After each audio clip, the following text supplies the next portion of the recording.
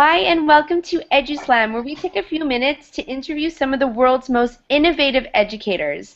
My name is Tanya Avrith, and I'm from Montreal, Canada.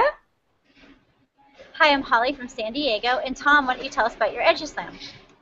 Sure. Well, first of all, thanks a lot for having me. Appreciate it, Tanya. Appreciate Holly. Hey, Tanya, how are things in Montreal, fellow Canadian? Uh, Hope things are good. Um, Holly, I know you just got back from a big trip to South Korea. Very exciting, and I hope that the jet lag's not too bad. Um, the EduSlam today will be based on an article I wrote uh, called Five Critical Mistakes Schools Make with iPads and How to Correct Them. And I'm going to focus on number one, and that is um, undue focus on content apps. So this is probably the most prevalent issue that we see in schools that educators are choosing apps primarily based on teaching content. Um, it's very discipline specific, very grade level specific, and unfortunately, it can blind them to really the, the full comprehensive power of what students can actually do with an iPad. So that's really what I'll focus on today. So take it away. All right, great. So what I'll do is maybe do a little screen share here, and I'll just bring up a, a few slides and kind of some visuals and kind of guide us along the way. Um, so just take a second, and then uh, hopefully it's starting.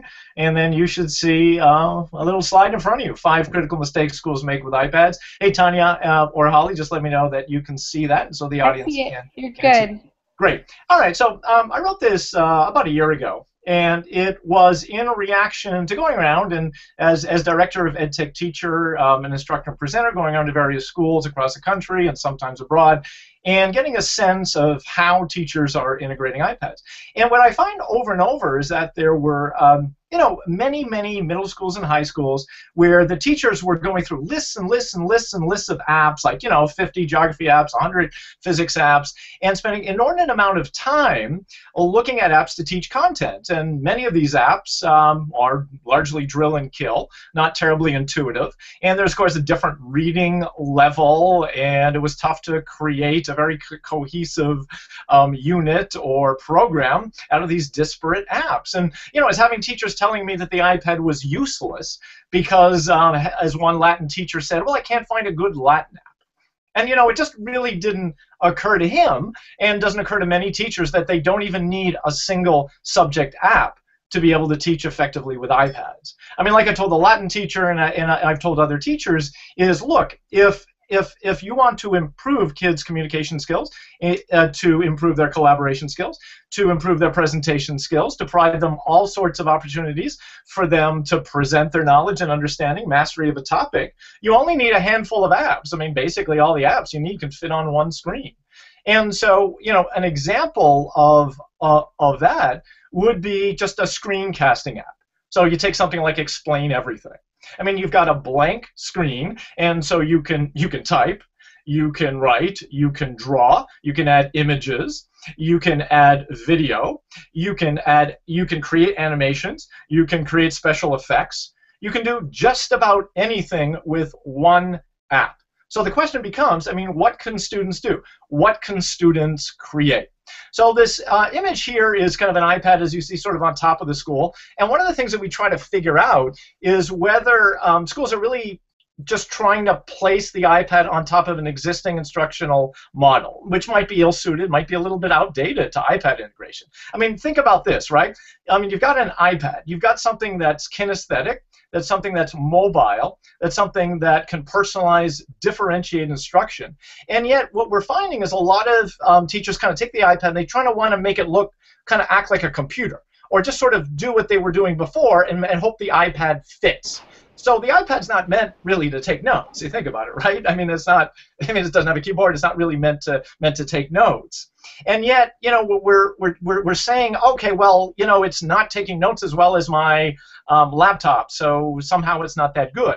Or, you know, it's the kind of thing where kids are, you know, sitting in rows and the teacher's up top, uh, teachers at, at you know at top, and kind of you know dissemination of of, of information to a passive audience maybe. Whereas you know if you've got something that's really mobile and kids can move around, they can move in groups, you can redesign, reconfigure, re-architecture that classroom in any way because you've got something that's portable. It's mobile, so you can take it out in the yard. You can take it on a field trip. You can take it anywhere. You can take pictures with it. You can shoot video with it. So you know, the teachers who really have it inside the classroom and not on top of an existing structure, they kind of focus on what the iPad does well. So one of the cool things is the kinesthetic value right? So you can actually be immersed into molecules using your fingers. So you can zoom in, zoom out, you can rotate it, and do all these things. I mean, that's pretty neat. I remember when you know teachers would try to bring in like these wooden molecules because they were trying to simulate a 3D experience. Well, I mean, you've got that. So why not think about how the kinesthetic elements of the iPad could be built into more effective instruction, play to its strengths. You've got a camera, so you can take pictures of all sorts of things. Kids can take screenshots. That's great for formative assessment. At any point in time, kids can take a picture of what they're working on. So you can check what they're working on. They can email it to you. You can walk over. Kids can take pictures of your notes. You can take videos of kids who of exemplary behaviors. I mean, kids are doing great work. Kids are, are collaborating really well. You know, so we're asking, you know, we're asking to go to schools like, how are you using the tablets, right? Whether it be iPads or whatever it is, and we're getting things like, okay, it's um, it's kind of a repository of apps. I mean, it's kind of like, okay, you know, we we've got a lot of apps on it. We use it for apps. We teach content with apps. Oh, it's an e-reader. We, we put the textbooks. Oh, it's great because they don't have to lug the textbooks. Well, that's convenience, right? But that's not to the heart of teaching and learning. It's really a convenience. Um, so you know they're telling us it's it's a convenience. They're trying to make it something that it isn't as a note-taking device. They're focusing on teaching content with apps in, instead of thinking about maybe non-subject apps, what I call evergreen apps. That is apps that could be used anytime, anywhere, um, and could have kids represent what they know, such as a screencasting app. So if, if you got a screencasting app, you've got an iMovie app, for example, you know, a video app. Then you can shoot video, you can edit video. You got a camera app. You've got some things, um, you know, you could throw in something like Animoto for a, a presentation app, a subtext so you could collaboratively read together and take notes together. I mean, with a handful of apps, throw in Google Drive for a lot of a lot of collaboration sharing. Um, you know, you can sprinkle in a few subject apps, but really handful is all you need. So we should be really aiming, hopefully, for ENF. There's not a lot of what we find. Uh, we find we don't find a lot of um, teachers doing something like this. And this, you know, if you want to take a look at this uh, video, we can't show it through the Google Hangout, but go here. Um, Science Explain, uh, Lisa Johnson out, out of Texas. This is terrific. These are kids, you know, middle schoolers explaining plate tectonics, and and they're just using one app, right? One app, and I don't know if it's explaining everything, but it's it's a screencasting app. One app, and you have some kids, you know, they're typing. Some kids, they are writing. Some kids are speaking. Some kids are showing the plate tectonics by having the plates in animation like moving apart. Um, and, and others are using uh, like images and callouts. So they're representing, like showing what they know and understand in all these different ways, but they're just using one app. And that app's not designed for a particular subject. It's not like it's a science app.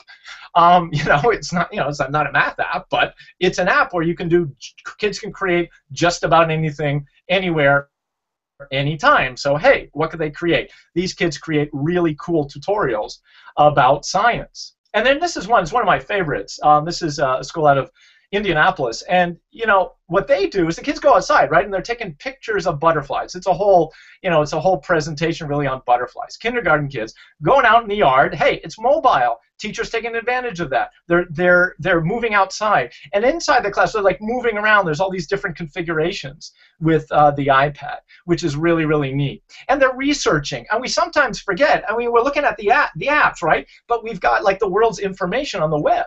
We've got all this information. So think about how could we use it for research? How could we bring in that bring in that information? So she's doing that with the kids. And the kids create this real cool video along with the teacher explaining butterflies. And it's really cool. So you know, it brings in the mobility. It brings in uh, the um, you know the, the the creativity of the kids creating along with the teacher because they're young uh, the kids creating a presentation uh, about this. You look at the video too and um, you know there's all sorts of different learning environments. There's a little bit of stand up and uh, deliver and but there's also kids uh, interacting immersed inside outside story time on the video whatever it is And, that's like taking advantage of this mobility, all the different possibilities that you have. And the teacher plays different roles, sometimes front and center, sometimes like in this picture, um, you know, sitting beside the kids and kind of working with the kids. So one of the you know key things we try to get across to everybody is that you know let's you've got a portable media creation device if you've got iMovie and explain everything, and let's say GarageBand, and you've got some, you know, cool presentation apps, like I mentioned before, maybe something like like an Animoto. Some people like um, Nearpod, uh, for instance. Um, you know, and then you've got something where you could collaborate effectively, like subtext around a web page, around a PDF, around a book. You've got something like Google Drive where you can do collaborative work together and editing and share. I mean, like you could do just about anything. So why not focus on the benefits the intrinsic benefits of an iPad, its mobility, it's that kinesthetic value, um, the, the, fact that we could redesign the classroom, reconfigure classroom, create all these different learning environments. We can personalize it. Kids can work at their own level. We have accessibility features that will help them with consumption of text and uh, you know basically consumption of all sorts of different materials. Take advantage of those, personalize it, and we can differentiate. We can meet kids at different levels too. Whether they're just starting out, they're they're more advanced. Uh, or they're somewhere in the middle. So think about what an iPad can do and build on that. Don't concentrate in getting caught up in the iPad versus the you know computer or the iPad versus this iPad and that. If you really want it to be inside and not on top, you're gonna you're gonna focus on what the iPad does well, and you're going to then play to its strengths and hopefully develop these creative learning environments where kids get to show you all the great things that they know. Okay? That's fantastic, and it's really words for people to live by because um, way too many um, schools get iPads and they just fill them up with tons of apps. And, and, and to be honest, when you just I, I know from experience when teachers are starting out, that's the the, the the, the last thing that you should be doing. Um, you know, so I hope that you know people will watch this EduSlam, show it at a staff meeting, and uh, you know when they're introducing iPads to their staff, you know, to give them good ideas of things that they can do. Thank you so much, uh, Tom. Could you tell us a little bit about yourself and uh, what you do? Oh yeah, sure. Well, my background is as a history teacher. I taught history for 15 years, a little bit in Europe after college back in hey Montreal, Tanya, uh, my old high school, my old high school in Montreal. I've been in Boston for over 15 years now. I taught um, taught an independent school here outside of Boston. Um, but uh, I've been running um, uh, EdTech Teacher along with Justin Reich, my co-director. Some of you may know him as an EdWeek blogger.